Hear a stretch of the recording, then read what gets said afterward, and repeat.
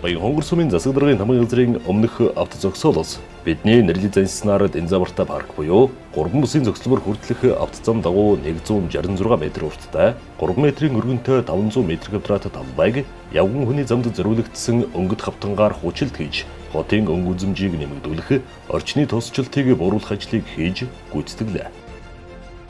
Баян хонгор сумын засаг даргын тамгын газар